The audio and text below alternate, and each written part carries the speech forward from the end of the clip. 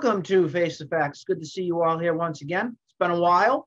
Uh, we've been very, very tired and very busy lately, but I think it was time for us to get together and to get going with talking about everything happening right now because it's a whirlwind right now. You have pretty much every team has something that, that needs to be discussed or followed. I think we all know right, right now, center stage is the Boston Bruins. Um, sorry, Phil. But we'll get into the Celtics too because I have an axe to grind with you know who. So we'll get into that too. But uh, first of all, just how's everybody doing? Uh, hanging in there. As you could you could hear my screaming kid. He's doing all right. Yep. Everything's okay. Tom, all good on your front? Yeah. Excellent. My front, well, you know, that's how the story goes. Um, I want to start with the Bruins because I'm very pumped up about this team right now. Um, not to throw Tom under the bus, but I was the one that picked five games. He was the one that picked six. Listen, games. listen. That is listen, one check mark for me. and Listen. You. Oh well, and I said a ge- I said a gentleman's sweep. Can we can we call it what it is? Oh, there was nothing gentleman about that series at all. That was No. a bloodbath. Yeah. That was Yeah. a hatred batch. I didn't No, realize I how much I I despise the, the Washington Capitals. I didn't realize how much I did, but I do. Oh well, you're late to the you're late to the club. I was then. late to the party for some reason. Um, But no, I only I only said that I only said that they weren't gonna win in five because statistically the the Capitals should have won game game five. statistically, they should have won game two as well. If you think about it, got Uh, lucky because um, I think it was Craig Anderson at the time fell asleep. That was the double overtime win. Game two, yeah, game, Game two was two, Craig, Craig Anderson An- fell asleep. yeah, game The uh, first game, their first goalie got hurt. The second game, Craig Anderson played, and then they that's right. Yeah, he did uh, start. yeah. Samsonov in in uh, in net for the rest of the time. It was a little bit more of an upgrade, but still, he had his moments. He had his sleepy moments. Game game three, he made the one mistake that you, you should never make as a goalie in an overtime game. Is Yeah, you don't play the asleep on that puck. You don't play the puck behind the net in overtime, no matter what. I get a little game. nervous sometimes with Tuukka when he sometimes goes and does the same thing. But He doesn't make me as nervous as Halak does.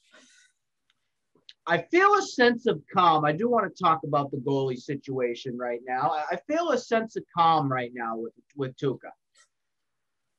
Yeah, he's um. I mean, if you've been watching the games, you can tell that he is definitely feeling confident.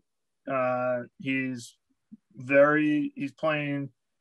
Um, a you know a great. He's playing great position wise. Um, he's made you know. He's only he hasn't had too many bad rebounds. He hasn't given up too many rebounds. Too many good uh, good rebounds, and that's helped the young defense in front of him out a lot, and the defense in front of him has been playing outstanding, really. I don't think Tuukka's had to been the star of the show. And I think that's a big kind of burden off of his chest a little bit, at least for that first round. I will say his best game was, I think I would probably say it was game five because he was the one that pretty much kind of kept the Bruins in that game because I thought the Bruins were kind of sleepy. Uh, in They in got outshot a bunch. They got shot out. he had like 40 something plus saves in that game because the Capitals were playing desperation hockey. So I was very pleased with the whole series in general. I'd say think- as a whole, I'd say as a whole team, their their best game though as a whole team was Game Four. Yes, I will say it was definitely for game four. There's a lot to like right now with this team. You see that second line is just really clicking well with Craig Smith. Taylor Hall had a great series. And then same goes for um, who the heck? Krejci. Krejci. Krejci had more of the assists. I don't know why I was forgetting Krejci. I think it was because he didn't score anything, but he set up a lot of good plays to, to manufacture some points. The first line, though, from game three to five, just just went crazy, Bill. And you saw Pasta get out of his drought that he was in. Uh, Bergeron had two goals in that last game, and Marchand, in my eyes, has been the MVP the entire the entire season. So if they're going to show up and they're going to play, and the second line's going to do well, you're really clicking. And when you get production from the third and the fourth, that's just gravy, gravy right on the top. We heard last night because the series ended with the Penguins and the Islanders. It will be the Islanders. So the series will kick off on Saturday night at eight o'clock. I'm The good thing on the Island Islanders front is uh, the Bruins now have home ice. They have home ice advantage. So that's a big that that could be a big factor here, especially with fans being allowed to re-enter into the Garden. So it should give us a, a big advantage, I would say, in this upcoming series. The Bruins have played the Islanders a lot in this season so far, and it's one version versus the other version. The first version stunk without Taylor Hall, Curtis Lazone, and Matt Riley, Mike Reilly, excuse me. Version number two with Taylor Hall, with Curtis Lazone, with Reilly, they're 3 and 0. That team is what we're going to see in this next series. Do you not agree? Oh, absolutely. I mean, the way they're they're the way they're rolling right now, it's it's really hard to say if there's a team that can actually stand in their way. Really, um, I I will say though, I am kind of surprised that the Penguins lost that series or weren't able to you know win the game last last night. Um, Well, you had Puddles McGee in net. But You call those players Sims, folks. Sims. Big yeah, time. I mean, I mean, I guess, I guess, uh, I mean, I'd say the Penguins. That series was a good series. And the Penguins, Penguins were playing well, I guess, until up up until last night. So I'm happy the Penguins are out. You would have had, you would not have had home ice advantage. And I can't stress this enough. It's a different environment right now. You have fans that haven't been at games in almost two years. And I'm going to step in and I'm going to say, fans, if you are going to a Bruins game and you do not cheer and scream and holler and yell and do whatever the hell else you need to do as a fan, get out of the park. Get out. That's my stance on it. yeah, So that should be a huge factor on where this team is going to head in this next round. I have full confidence. I'm going to say it's five games again. I was good with five the last time. I'm saying Bruins in five. I'll give the Islanders a game. But when push comes to shove, the better, more experienced team who's been there, done that is the Bruins. Here's my biggest thing that if it doesn't go the Bruins' way. In 2015, the Bruins had their uh, their draft. It was Don Sweeney's first draft as a Bruin GM. We had picks 13, 14, and 15. Pick number 13, uh, it, it was it was DeBruskin there, Zach Sem- Sem- Seminold, and, and were uh, were the picks there. Well, Matt uh, Bor- Borkowski, is that his name? Bo- uh, Bartkowski. On the Islanders was pick number 16. It's a major burn there for Mr. Don Sweeney because he passed on that particular player three times, and he is one of the heartbeat players of the Islanders. Barzal. Barzal. Barzal, thank you. That's his name. That was the same draft where you got uh, uh, Aho in uh, Carolina. You have the goalie from the Capitals who was also drafted down in that first round. Um, it's not Samsonov, it's Sem- Sem- Semenov or something like that, right? Samsonov. Samsonov, thank you. Um, and then you have another couple players on the Islanders who were drafted a little bit higher in their round in that 2015 draft. If the Bruins lose this series, it comes down to that draft class for Don Sweeney. So you do not want to see Barkowski or say it again, Barzal. Barzal. Barzal. I keep thinking of a, remember Matt Barkowski? Yeah. Your Bruin. Uh, it's going to come down to that. So I want to see, I want to see the Bruins really rise above here and prove that maybe they didn't get the better players or the better player, but if they win this series, hopefully it shuts up a lot of people about Sweeney's bad draft he had in 2015. The other thing I want to talk about is uh, the coaches. So you have Cassidy, and then you have uh, Barry Trotz, who's one of the best coaches, I would say, in the NHL.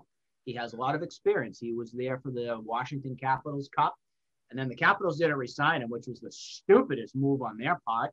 And then he went over to the Islanders, and they became a playoff contender. His team is known to be very have a lot of uh, they're very good with fundamentals. They're very Defensive. good with. They're, They're very, very defensive. defensively. They're very good with staying in games and everything like that. So I, I don't see this series being like a five-one, a six-one, uh, anything like that. I think it's gonna be close. I think it's gonna be close. But I do think the Uh, upper hand is gonna belong to the Bruins with the experience factor. The, the speed the speed is going to be a factor. Bruins are quick. speed is going to be a factor. Now, when you match up the Islanders versus the Capitals, they do not have as much star power. Capitals had more Alex Ovechkins and and Jerk Wilson. I don't want to ever call him his name Tom. Um, they had uh, TJ Oshie. More household names that you're probably familiar with. Chara, of course, too, for a name that you might know. This team doesn't have that. I know from past Bruins teams, uh, Johnny Bu- uh, Johnny um, Boychuk. Joy Boychuk is a part of the defensive core over there. But No, I'm pretty sure he retired. did he retire? I'm pretty sure he retired. Maybe that. Well, I guess that's a good thing if he did retire because that uh, that wouldn't have been nice to see him go off and, and to win. But I'm I'm very optimistic about this upcoming series that's going to go on. It's going to start Saturday night at the Garden. Uh, game will be at eight o'clock, and I hope that that place is rocking because the, the the masks are off as of Saturday for all these restrictions. I think they have to wear them in the garden and stuff, but life will uh, get back to semi-normal a little bit more come Saturday. Did you find out the Boychuk thing? Uh, playing career.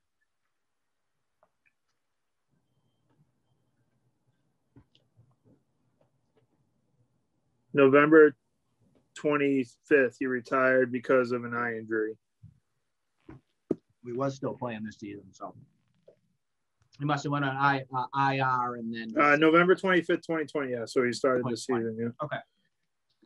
Anything else we want to add on to the Bruins front? Uh, Rest of the NHL. Let's take a look at the rest of the NHL. Any surprises so far for you outside of obviously Pittsburgh and this Islanders series? But anything else kind of stand out to you with what's going on? Yeah, Minnesota being tied with Vegas right now. Is it three three? 3 3. My cousin's out in Vegas, and she keeps saying that they're kind of nervous with everything right there. For whatever reason, the Wild have had the upper hand against Vegas this season, and I am not as optimistic now on Vegas. I still think Vegas will win, but it, it oh. just pro- it just proves that they have a weakness. Other teams, remember, we have. Um, if I'm actually going to take a second here, um, Phil, is there? I hope hopefully Phil is around here. I think I can share my screen. I want to show everybody the NHL uh, playoff uh, bracket. That's uh, this bracket, so you can- guys can all get a chance to see and why it's a little confusing. Now, Yeah. the biggest reason that I want to pull this up is because you have Toronto and the Canadiens facing off in the Western Conference division for whatever reason that they're doing, and it's confusing a lot of people on what uh, what things look like right now. I think I think it's right here. Yeah, Montreal and Toronto. You have Winnipeg. They swept Ed- Edmonton. Phil, I need to share my screen. Please. I have it right here on my computer. So Florida and Tampa. Tampa. how it's working Florida. is it's Toronto, Montreal, Edmonton, Winnipeg, Carolina, Nashville, Florida, and Tampa. That actually no, this is not correct. Yes, it is. Florida So beat Tampa. Vegas and Minnesota are in the east are in the Eastern bracket conference. Yeah. They are. Wait. I have a I have a sporting news bracket sheet that's up now that's showing it that way. No, that one's I don't wrong. know, that's got to be wrong. I think they did it for spacing. NHL. I'm to NHL.com. Take a look at it. Um, you had Toronto and Montreal, Winnipeg and Edmonton. Um, you had New York and Pittsburgh, Boston and Washington. You had Colorado and St. Louis. Vegas and Minnesota. I was And then- surprised the Blues got swept. Uh, I wasn't. I, I had the I had the inside scoop. So what happened with the Blues? Why did they crumble? They were missing. They had a bunch of injuries, um, and they weren't. I mean, they didn't do well to begin with this season anyway. So We know Vegas and Minnesota, like we said, are tied three three. They don't play tonight. I think they play tomorrow night. yeah, they play tomorrow because they played last night. How about Toronto having a three one lead against the Canadiens? Um, I'm kind of surprised by that because Montreal played better this year, but it's also tough because they still don't have fans. And my other question I wanted to ask is how overrated is Connor McDavid? I don't think he's overrated. I think it doesn't help that um it doesn't help that his the team that he's on does not play well. I just think it's embarrassing that Winnipeg is able to sweep that team after you have a player of Connor McDavid. I mean- you don't think so? No, they they got they have two star players that carry the team through the regular season, and then I was I was talking about this with somebody the other day. The the regular season it doesn't matter who you have on. I mean, it matters, but it doesn't because you can still have a good team. But the playoff is a completely different animal. You need you need to play a team game. And then going back into the East, you have Carolina and the uh, Predators. Carolina won. And, then and Carolina has the 3 2 series lead on that right and they're now. winning. Um, I think Carolina comes out of that. They should. So I think it's going to come down to Carolina and the Lightning.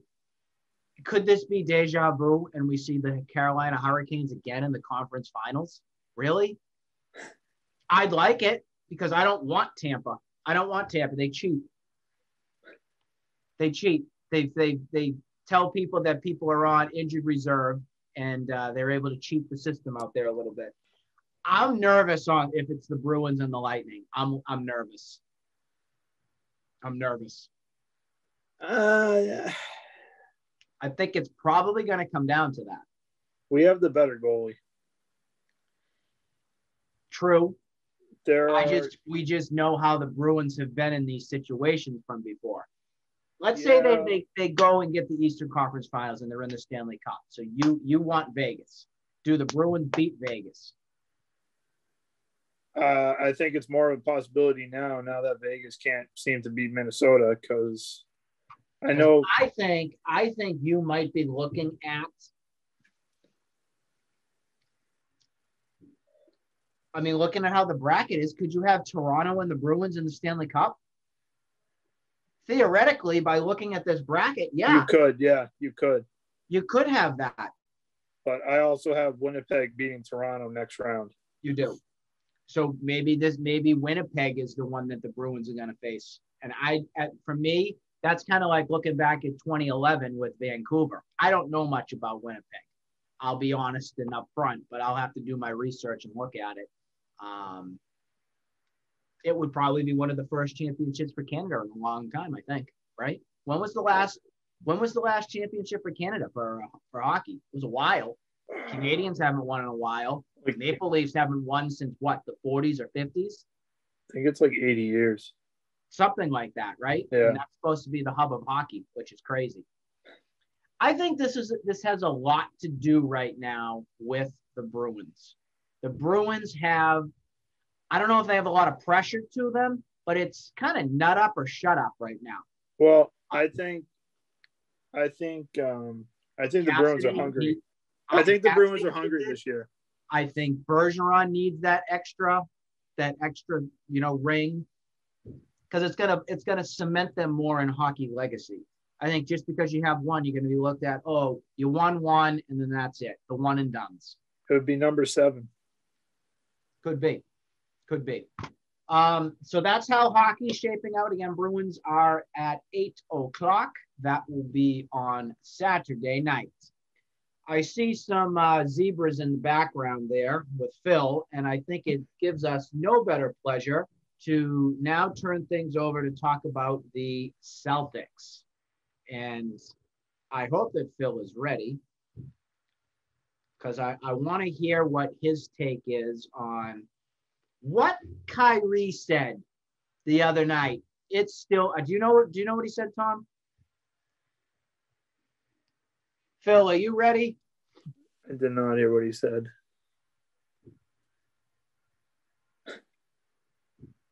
All right, there he is.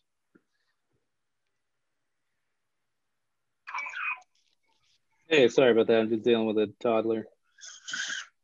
So Uh, I yeah, want to get Kyrie Irving. I want to get into the Celtics. I want to get into how the playoffs and everything are looking. And there's a lot of there's a lot of bad right now, a lot of bad right now happening, and I think it's time to figure out what the next step is here for the Celtics. So I want to go first with Kyrie.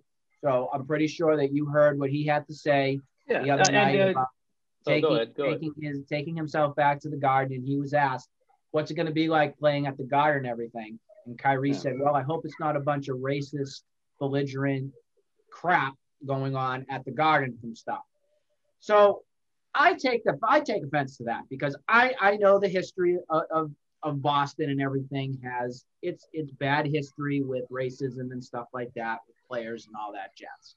But my biggest issue here with Kyrie is he's trying to distract and put attention on to something else instead of himself. That's what I think is going on. I think Kyrie said what he had to do. First of all, he's lying because I don't know if you guys remember back in 2019 when DeMarcus Cousins came to the Garden and somebody shouted some other derogatory term at that certain player. Kyrie came out on eh, after the game and said that that sort of stuff he's never heard it here as a player. He's never had to dealt with it with anything, and he thought that that was just one particular fan who had to ruin it for the rest of the rest of the people that were at the Garden. So I'm kind of curious to hear what your take is on it, Phil. Uh, yeah, I mean, for starters, I mean, Kyrie's not going to hear any of the racist stuff anyways because all the people who can afford those seats, I mean, they're all up in the raft. Usually they're up in the rafters. Well, listen, we all know it, and we all know Boston can be perceived, and and in many cases is. You know, there are degrees of racism there, and I, I what you're, uh, I'm sure you watch the same Holley and Felger, uh, you know daily thing I saw yesterday. And Yeah, uh, Kyrie, you know that when you had Demarcus, it was like 2000, I think 19 or yeah, I think it was 2019 19, yeah. when Kyrie was still on the team, and you know a fan got thrown out for uh, being Saying kind of bad. Yep. yeah, saying something bad, being unruly, I'm sure, and you know ruin it for everyone else. Uh, and Kyrie's like, yeah, like you said, I, I haven't heard anything here, and you know, I listen. Kyrie is Kyrie. Kyrie is Kyrie. If that if that means anything to anyone, uh, he's going to try to take attention away from certain things, and also he will try to pass the buck once in a while. And regard and regardless of who he is, it doesn't change the fact that what he says isn't necessarily untrue. But I would also add with a caveat, yeah, I would I would say you're probably looking at every almost every uh, some places more than others, but uh, across the states. And this shouldn't make you feel better, but this should just make you be like, oh, okay. It's Like, not a every arena Boston problem. I would say. It's not just a Boston problem. Uh, it's, it's yeah, but- for the most part. I, I think it is, but I think Boston has that. I think Boston has earned that uh, rep though in a lot of ways. Hell, I remember, I remember when I was in high school, and that's not too. We're not talking too long ago. We're talking like 2001, uh, or like 2000, 2001. I remember going to a Red Sox game when John. I'm sorry if the baby's drowning and everything, but uh, I remember when John Rocker. We were facing the Braves, and around that time it was when John Rocker was taking heat, or the year after he took heat I remember that. I remember that player. Yep. doing that tirade. Which, to be honest, John Rocker actually didn't say a lot of crazy. I mean, he said some crazy stuff, but he didn't necessarily. It wasn't as bad as you think, but it wasn't good. But it wasn't as bad as uh, it was made out to think. But there were people in front of me and behind me who's like who were cheering on John Rocker because like they saw that as a symbol of just kind of like you know white greatness. I don't know. or a white uh, a white fighting back or something weird. It was just so White weird. entitlement or something. Yeah. And not just white entitlement, just like being um like yeah, speaking up against the blacks. That's kind of like what it was so weird. And I'm like, you know, I'm not I'm not from like I grew up in Methuen. I grew up in a swamp. So I know where like all this other, you know what I mean? So I know I've seen Swamp it. I- well, I mean, listen, man. I, racism doesn't start and end with Boston, but but uh, that being said, it sucks that you know we we have to kind we we can talk about this and say like you know that's kind of unfair for him to say, but also we have to swallow that bitter pill that there are degrees of that that are earned, and we have to just kind of listen, but also know, like you said, know that Kyrie Irving is a special type of personality who just wants to zap what the real issue is from something and just try to, you know, make it about him. And I listen, I love Kyrie Irving in a lot of ways, but he also is kind of he can be a real jerk, to put it uh, Norm Macdonald esque. Um, like, oh, he's a real jerk. Uh, but you know, I uh, listen. If I, I I I wish he was back here. Uh, I wish he would have listened to Brad Stevens. And I don't. Uh, actually, I will not to go on too much of a, a rant. But Reed, I never knew about this, but Terry Rozier spoke out against him. Yep. Uh, when like after the 2019 season when they lost to the Bucks in like five games. Yep. And he talked about how Kyrie Irving, like they would they would go through practice and go through Brad's system and do it, and then when Kyrie's on the floor, it'd be something else. So I mean, listen, I, I still think he's an, an, an incredible player, incredible talent, but clearly, you know, there's something up with that guy in a lot of ways. Um, I, I sometimes I I like what he has to s- say about certain things, and it's like you know you, you you think about it like He's, he's very toxic at times. yeah, and it, it sucks because he he'll bring up something like this, which is a real issue, and he'll just it just kind of the distract from the biggest problem. I think that you know that fans aren't mad about this whole matter with with being racist or, or anything like that. Fans are mad because he came out and blatantly lied and said, Yeah, "I'm going to stay thing. here and I'm going to be here for Celtics and my numbers going up in the top." And then he goes in with buddy buddy Kevin Durant and he goes to Brooklyn. That's why fans are mad, yeah, and also and he doesn't kinda- understand he that. Kind of dogged it a crazy little bit. part. and he also kind of dogged it a little bit. Yeah. Not a lot. He actually, I actually contend that he played his ass off in that series against Milwaukee. It's just they didn't all play together as well as they should. I think it was all. I think it was already Yeah. broken. Yeah. But um, listen, I uh, I think uh, sorry, just waving. I'm Gonna be interesting. It's definitely gonna be interesting Friday night. It'll be, you know, and I hope I I wanted. I think the C's could make a series out of this. I think they could push another. I think they could take a game, possibly two. Uh, nowhere in my in my mind could I ever think they could win this series because this is like the unwinnable series for them. But I did like what I saw in game one. I didn't watch all of game two because I had to do a bunch of stuff. But from what I did see, it was like, oh, where the hell is Jayson Tatum? Just kind of like, You ready for my next take? oh, I'm sure it's going to be a, a ball breaker. He got poked in the eye. Like I, I understand it hurts. I understand. But what it what was he looking for? Like someone to kiss it to make it better or something? Well, I, I- Nick, I don't understand, and I actually part of me likes that players aren't as crazy hateful against each other. But Yeah. I was just looking as a fan, and this is this is kind of silly, but I was looking for some blood. I was looking for no, or just or Tristan Thompson to like to take a bow. You know, No, LeBron oh, what do you or? James Harden have gotten hit in the eye, in my opinion, from just from what I've seen, a lot harder than that was. I think this Oh, was a get him out of the game early Yeah, because uh, it you're wasn't right. going their way. probably right. No, I, I don't I don't disagree, and that's So does an easy my out. question here is does he deserve the criticism for it? yeah, of course. Okay. Of course, it's the playoffs, man. I mean, even if you're not doing well, you have to. He's got to get his. He's got to try to do what he can. Listen, every game right now, everything right now is a national spotlight. And like, you know what he could be doing? He could be playing his ass off, and people be like, you know what? They didn't have Jaylen Brown. Heart of a they took- champion.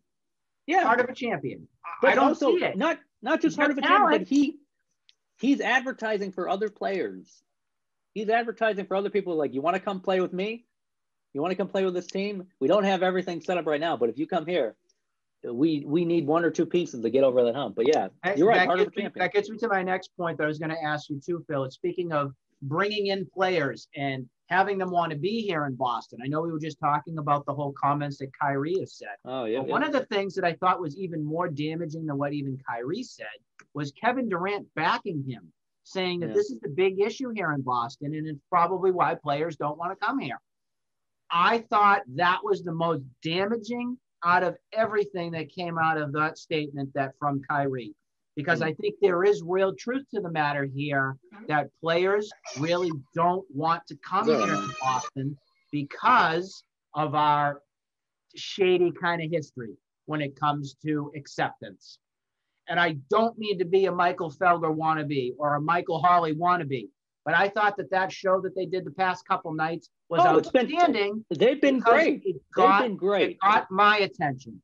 It got me thinking, you know what? Maybe these guys have a point. Maybe maybe that is a, one of the reasons why the Celtics are struggling, and maybe it might be an internal struggle because it, it, it, it's very damaging to your brand from what was said last night or the other night from Kyrie into yeah. Kevin Durant. That could have been the X factor and why Kevin Durant didn't want to come to Boston.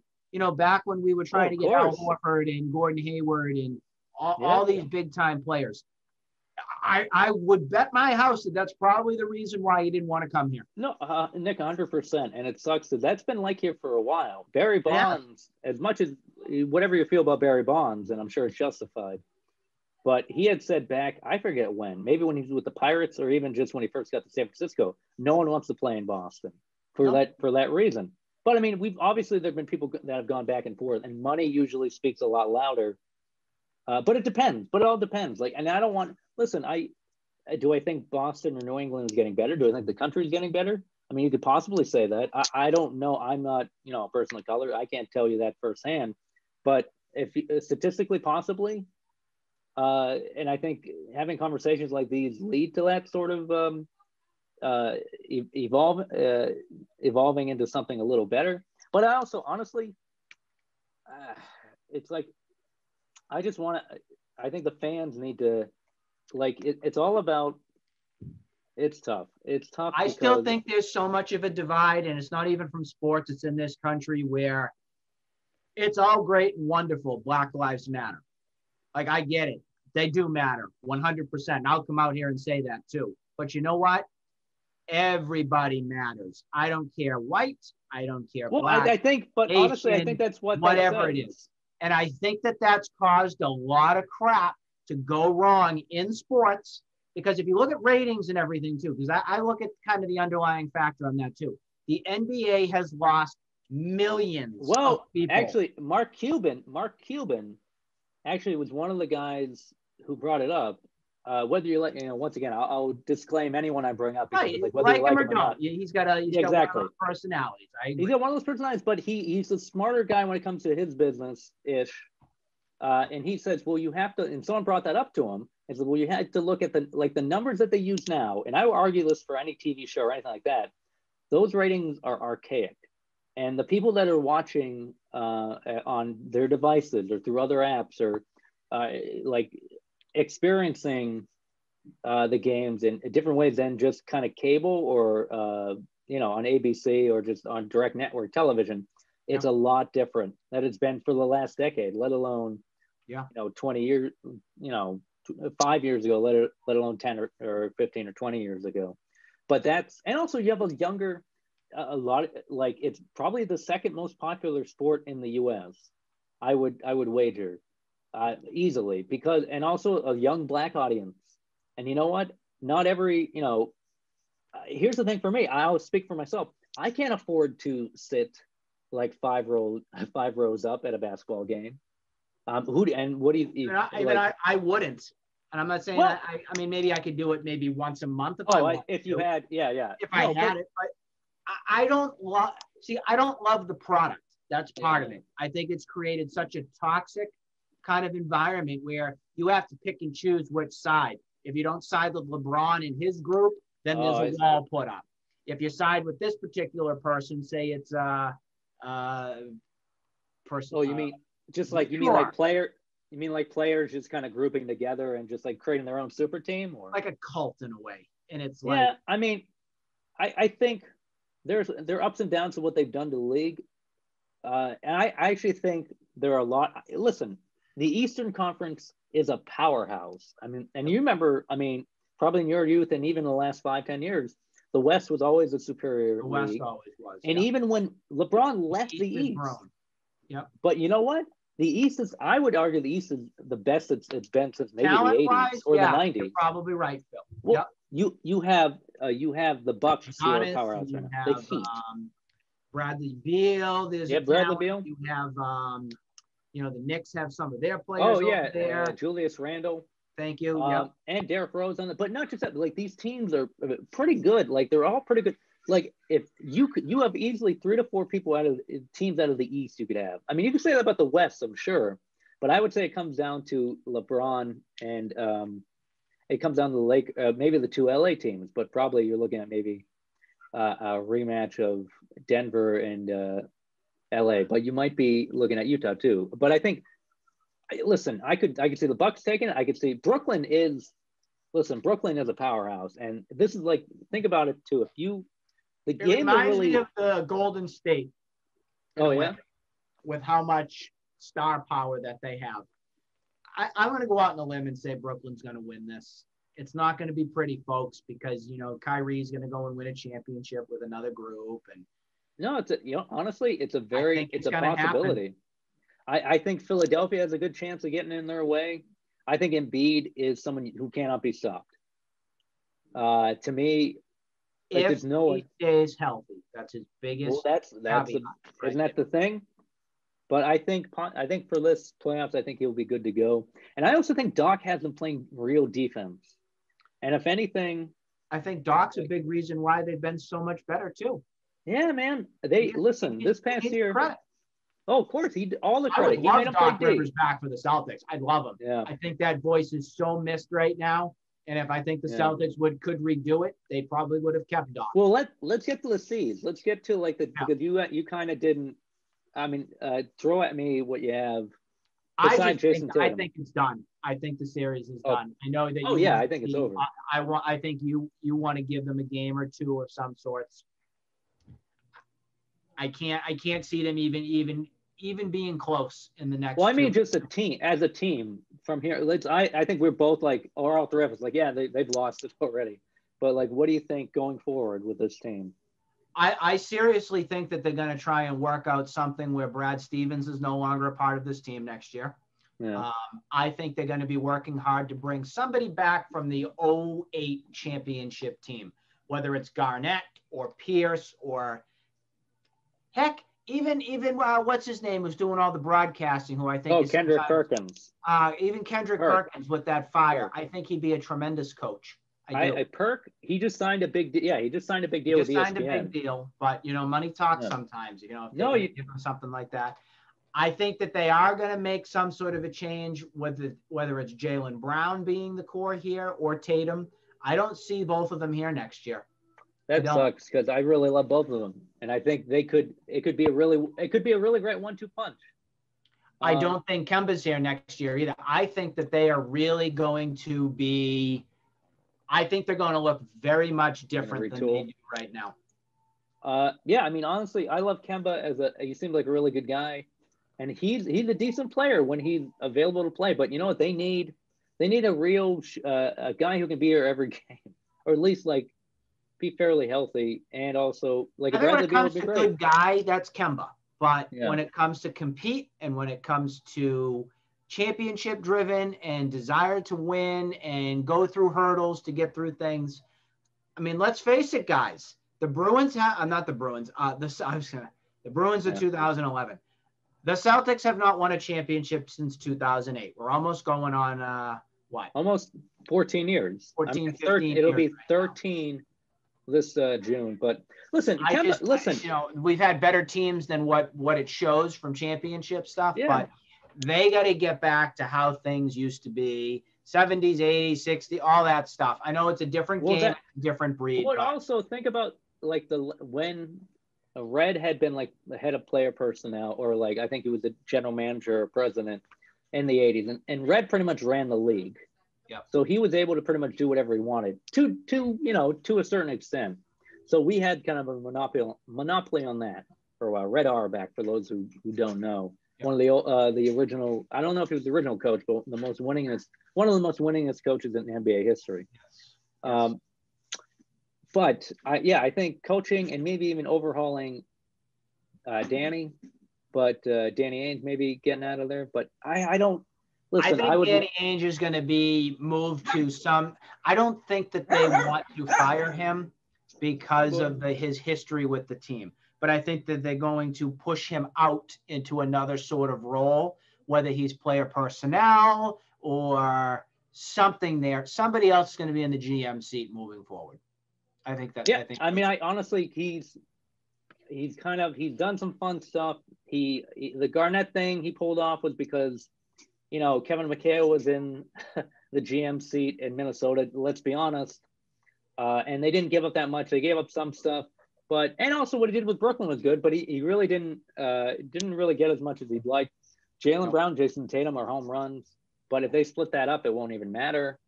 But if you can do something like get a Bradley Beal for like a Smart and Brown and a pick, uh, or even like Bradley Beal and some other, I would you know throw in Smart, Kemba, and a pick for like a Bradley Beal if you can, and maybe even like one of the or Tristan Thompson, who I mean, I don't know why he thinks he's offensively minded, but that's a whole nother thing. I could go on for days about this, but Yeah, overall, I just think it'll be a different shaped team. Uh, we'll see how much the reception is uh, tomorrow night when the Celtics will take on the Brooklyn Nets in Yeah. game number three. So we shall see on that. Um, before we wrap up on this uh, episode here of Face the Facts, we do want to do our Red Sox kind of recap on how things are looking for the team. And we're almost in June, and the team still is chugging along and looking really solid again. I was not one of the people that stayed up till one o'clock in the morning, though, to watch the last victory, but they did get the job done against the Braves. Lots of still like on this team. They got some flaws and they got some holes, but we should all be very happy with the demotion today of Franchy Cordero finally to the Woo Sox. Finally goes down. What that means is um, they just they just put up Danny Santana, a player that was with the Texas Rangers in 2019, had a great year, got hurt last year in 2020, had about 25 home runs, close to 100 RBI. I think it was close to 100 RBIs.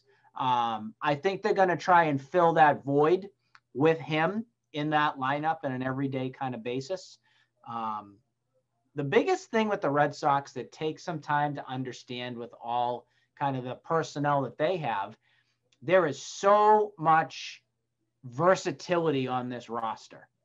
They can have Marwin Gonzalez pretty much play any position well. Kiki, Kiki Hernandez can play outfield, second base, shortstop. You can have Danny Santana playing first or infield or center field of some capacity. It's a really nice thing to see, but they still don't have that like stud that you know, they got Bogaerts, great. Devers is awesome. JD Martinez is having a great year. But the bottom of the lineup has been the biggest issue so far with the team. So they're not getting anything out of Bobby Dalbec at first base. They're not really getting any left field production. Christian Vázquez has been in and out, not getting that much uh, production there. And uh, it's kind of been a juggernaut in right field too. You know, they're not really getting much much love from any of their hitters and stuff there. Uh, pitching wise, the starters have been the starters who are the underdogs really have been great. Pivetta and um, what's his name? Perez, Martin Perez. Uh, Garrett Richards has been excellent. Eovaldi and, and Eduardo Rodriguez have really not been as brilliant, you know, guys that you thought you could count on. The one I do want to say I'm very concerned with because I think they give him too much hype. And if you notice, I didn't say Erod because he doesn't deserve that title. He doesn't deserve it. It should be Eduardo Rodriguez. That's it. You want to be a Rod, you need to be a stud. And he is not a stud. So I'm tired of them forcing him down our throats in a way where he's he he's getting looked at as the number one starter. He's not a number one. I'm sorry, he's not. So I want to see I want to see his compete level. I question his compete level. I think he's I think he's char, uh, Charmin soft. It's my famous phrase I use on my Twitter. Charmin soft. The other one, it's she's just I, I want to see more out of him. Middle relief is another thing that's a little bit of a concern outside of um, Ottavino's been spotty, but he's been better of late. Barnes has been excellent at the back end. Amazing. I'm even saying that as as the closer. He's not he it's a different person. I'm sorry. It's not the same Barnes.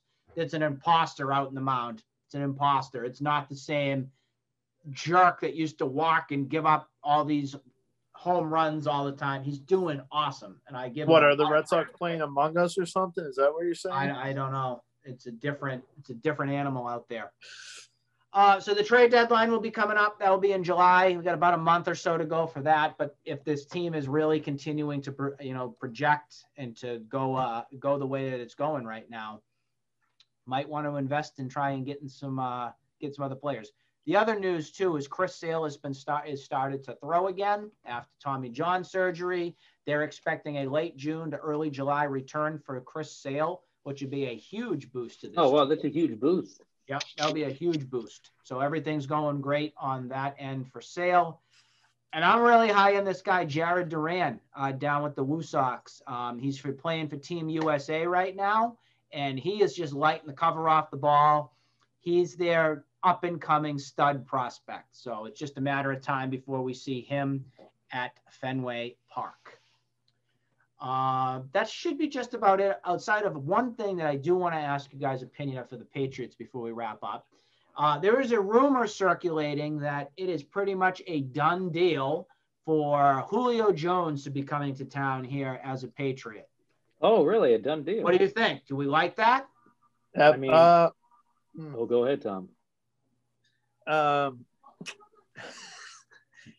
I like it with I mean, a different quarterback. I'll be yeah, exactly. that, but Julio exactly. Jones said he wanted to come to the Patriots because he wanted to play with Cam Newton, and I asked myself why. Yeah, why play with the quarterback that won't be able to get you the ball? Figure it out. Yeah. Yeah, I don't know. That's a little. uh I mean, hey, whatever works for you, bud. I don't know. I, I, and they're like only they're willing to only ask for a second round pick too. Second round second round Harry. Bye. Bye. I'll do that move. What Wait, really? Is that what they were asking? Second round and N'Keal Harry, and maybe like a conditional seventh or eighth or something like that. And maybe like tickets to a show or something. That's like a slap in the face to Julio. A little bit. Atlanta, and, you know, Atlanta just doesn't want him. For bus well, they want to get rid of Matt Ryan too. Yeah, they do. So that's how things are shaping up for the Patriots. Oh, and remember, man. we have four quarterbacks right now on the roster. We oh, have horrible. no, actually, uh, pretty much Cam well, Newton, Mac, uh, Jarrett Stidham, Brian Hoyer, who's just there to just to be a, a mentor. He, let's well, be honest. yeah. He's according to Felger Mazz, he's just there to help Mac Jones out. He's just a coach Ooh. for Mac. Oh, yeah, yeah, exactly. What Tom was saying. So that's how things look like. They can't have him during OTAs, right? I still feel that something else is going to go down before the season hits. I'm not holding on. I'm, I'm, I'm keeping my fingers crossed that we see something, something bigger and greater coming, like a Cam Newton excursion out to the uh, JRM uh, waste disposal company. But that should do it here for another great episode of Face the Facts. We covered all five, oh, all five, all four of our sports teams. Sorry, Revolution. Uh, here on Face. Oh wait, wow. One, before we before we go, uh, Adam Vinatieri, uh, another Patriot. Oh yeah, he, he officially retired. Yes. So if we give a 24 years, 24, 24 years, years, and four championships, three with the greatest uh, kicker ever. Greatest kicker ever. No question asked about it. You so, might have won it if you had him in 2007. Could have. Could have. But uh, yeah. Well right. Could have won a lot of them like with him. Or something yeah. like that for one of those. That's right. What was it? No, I remember Billy Cundiff was one, one of those playoff games where he missed it or something. Oh, like that, that was uh, the AFC Championship game for uh, Baltimore against us. That's right. And that it was like, yeah, it would it would have tied the game, but he, yeah. he shanked it and we like in between like the 10 or something. I will say that I do think that Patriots got lucky with how much production they got from Gostkowski. You know, he was there for Yeah. most picks on. He wasn't a slouch. very He wasn't a slouch. He was pretty good. Yeah, pretty good.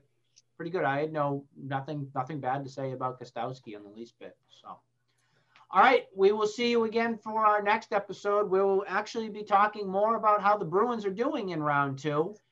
We're going to be talking about the Celtics golf game in the next uh, episode as well, and hopefully the Red Sox keep clicking. That's how the story goes. All right, for Nick Face, for Phil Healy, and Tom Smith, we will see you again next time for another episode of Face the Facts. See you later.